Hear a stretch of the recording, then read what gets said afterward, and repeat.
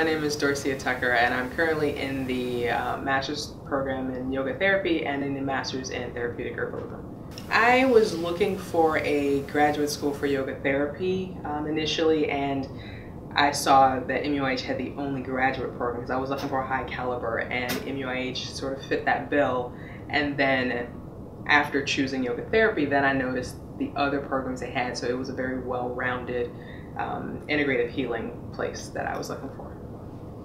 One of the most exciting things about the field of yoga therapy for me is the tradition and sort of the fact that we're on the cutting edge of things. So coming out of this, the first couple cohorts are going to be the first people to have master's degrees in yoga therapy and then be certified in yoga therapy. So we're blazing trails, but we're also following traditions that have, you know, been around for decades, if not hundreds of years. The thing that excites me so much about herbal medicine is that um, that aspect of individualization, individualization that we can bring to um, matching herbs to the individual's constitution, but knowing that there's security of having other people other traditions behind us. So I can be innovative, but I can also um, look to people who have already been there and sort of um, mastered the craft as mentors. So um, that's the thing that I love about the field itself and also uh, the environment that's fostered here at MUIH.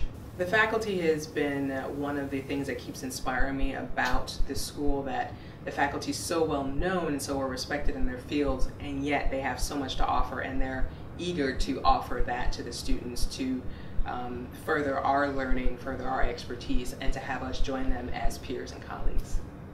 Uh, my background is in um, psychology. I'm a clinical psychology. I was a military psychologist for several years, and um, that has been very valuable for me. And to then bring mind-body awareness to the people that I was helping in the military. That's the trend that the military is sort of adopting, and I love being a part of that.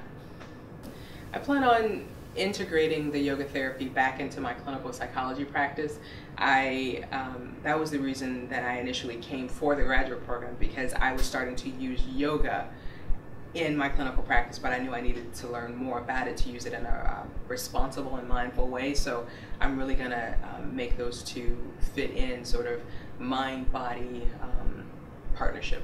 Um, there are very few environments that are quite like this where you have um, students who are in so many different areas, so many different fields, but they have the same feel of eagerness, um, wanting to learn, to grasp the information, and to share it with each other um, across programs, and then also sharing it with the public.